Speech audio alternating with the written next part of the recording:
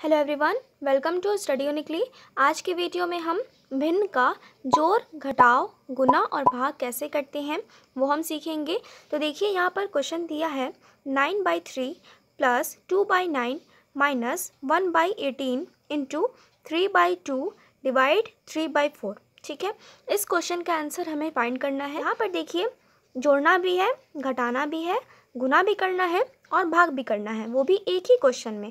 तो हम ऐसे क्वेश्चन को कैसे सॉल्व करते हैं, आज के वीडियो में सीखेंगे। बहुत ही आसान तरीके से मैं आपको बताऊँगी। तो आप इस वीडियो को अंत तक देखिएगा। अगर आपको अच्छे से समझ में आ जाए तो आप इस वीडियो को लाइक कर सकते हैं। चैनल को सब्सक्राइब कर सकते हैं। बेलाइकन दबाना ज़रूरी है, जिससे आपको आने वाली वीडियो का नोटिफिकेशन मिल जाएगा। तो देखिए, यहाँ पर क्वेश्चन दिया है। पहले इसे हम क्वेश्चन को उतारेंगे। Nine by three plus two by nine minus one by eighteen into three by two divide three by four देखिए, ऐसे क्वेश्चन को आपको सॉल्व करने के लिए बोर्ड मास का रूल पता होना चाहिए। बोर्ड मास का रूल क्या होता है? मैंने उस पर वीडियो बना दिया है। अगर आपने नहीं देखा है, उसका लिंक आई बटन में है। वहाँ से जाके आप सीख सकते हैं कि बोर्ड मास रूल क्या होता है। बहुत ही इंपॉर्टेंट है। तो देखिए, आपको हम इस वीडियो में बताती हूँ। देखिए बी फॉर होता है ब्रैकेट ठीक है? ओ फॉर होता है ऑफ़ डी फॉर होता है divide BODMAS M for होता है multiplication A for addition S for subtraction ठीक है? आपको समझ में आ गया कि बी से ब्रैकेट हुआ ओ फॉर ऑफ़ मतलब होता है का ठीक? डी फॉर होता है डिवाइड मतलब भाग करना एम फॉर मल्टीप्लिकेशन मीन्स गुना करना ए फॉर होता है एडिशन मीन्स जोड़ना, और एस फॉर होता है सब्सट्रैक्शन मीन्स घटाना। ठीक है? आई होप आपको समझ में आ गया होगा कि बोर्ड मास का फुल फॉर्म क्या होता है, ठीक है? तो इसका यूज़ हम इस क्वेश्चन में कैसे करेंगे वो देखिए। यहाँ पर पहले जब भी ऐसा क्वेश्चन दिया होगा, जहाँ ज़ोर भी होगा, घटाना भी होगा, गुना भी करना होगा और भाग भी करना होगा तो हम क्या करेंगे? बोर्ड मास के रूल के हिसाब से सबसे पहले क्या आता है? डी आता है मीन्स क्या हुआ? डिवाइड तो पहले हम डिवाइड वाले सेक्शन को सॉल्व करेंगे, ठीक है? मैंने आपको क्या बताया?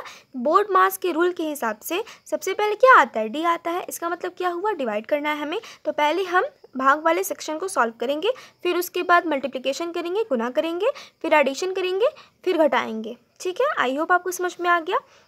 देखिए, यहाँ पर nine by three plus two by nine minus one by eighteen इसे हम नोट कर लेंगे क्योंकि हमें पहले डिवाइड करना है into three by two यहाँ देखिए, ये भिन्न के फॉर्म में है, ठीक है? तो मैंने पढ़ा दिया है कि भिन्न का भाग कैसे करते हैं। अगर आपने नहीं देखा है प्लेलिस्ट का लिंक मैं आई बटन में दे दूँगी। वहाँ पे ज़ोर घटाओ गुना, भाग, भिन्न का कैसे करते हैं, मैंने बहुत ही अच्छे से बताया है तो आप वहाँ से जाके देख सकते हैं। जब भी हमें भिन्न का भाग करना होता है, आगे वाला जो फ्रैक्शन होता है, भिन्न होता है, वो उलट जाता है, ठीक है? और जो भाग का साइन है, वो गुना के साइन में आ जाता है। तो देखिए, यहाँ पर भाग है, इसे हम गुना के साइन में बदल देंगे और आगे जो भिन्न है, तीन बटा चार है, वो उलट जाएगा। उलट जाएगा तो क्या होगा? चार बटा तीन। ठीक है? आई होप आपको समझ में आ गया है।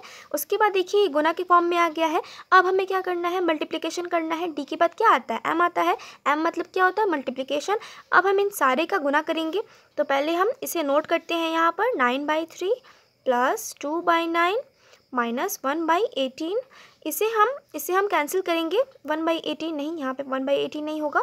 इसे हम पहले कैंसिल करेंगे क्योंकि क्योंकि ये देखिए, गुना के फॉर्म में है तो पहले इसे हम कैंसिल कर सकते हैं। यहाँ पर देखिए, दो है और यहाँ पर चार है। इसे हम क्रॉस में कैंसिल कर सकते हैं, नहीं तो ऊपर नीचे कैंसिल करेंगे, ठीक है? सामने में हम कभी कैंसिल नहीं करते हैं, ये हमने पढ़ लिया है।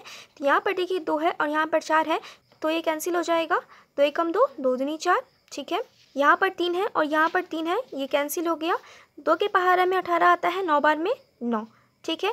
यहाँ पर एक बचा, यहाँ पर एक बचा। यहाँ पे पूरा कैंसिल हो गया तो क्या हुआ? एक बचा। यहाँ पर देखिए तो सॉल्व कर लिए हैं तो यहाँ पे क्या हुआ? वन बाई नाइन बचा, एक बटा नौ। ठीक है? आई होप आपको समझ में आ गया है। Is equal to nine by three है। Nine by three plus two by nine minus one by nine हुआ। ठीक है? उसके बाद यहाँ देखिए बटा में तीन है नौ है और नौ है। उसके बाद हम तीन और नौ का एल्सियम निकालेंगे। यहाँ पर देखिए हम लिखेंगे तीन और नौ। तीन और नौ का एल्सियम निकालेंगे। तीन एकम तीन तीन तिहाई नौ। इसे हम गुना करेंगे तीन गुना तीन नौ होता है तो एल्सियम कितना निकला? नौ निकला ठीक है? उसके बाद हम क्या करेंगे? इज़ इक्वल टू करके बटा में नौ लिखेंगे अब हमें देखना है कि तीन की पहाड़ा में नौ कितने बार में आता है? तीन की पहाड़ा में नौ तीन बार में आता है। उसके बाद जो तीन आया है उसे हम अंश में गुना कर देंगे न्यूमिनेटर में गुना कर देंगे।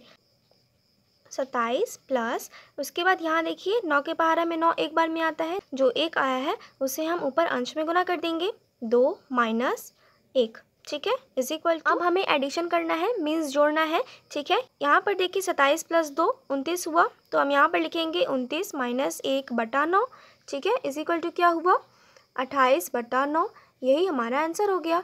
आई होप आपको समझ में आ गया होगा कि ऐसे क्वेश्चन को हम कैसे सॉल्व करते हैं। वीडियो हेल्पफुल लगी तो लाइक करें। चैनल पर नया है तो हमारे चैनल को सब्सक्राइब करें और बेलाइकन दबाएँ। Thank you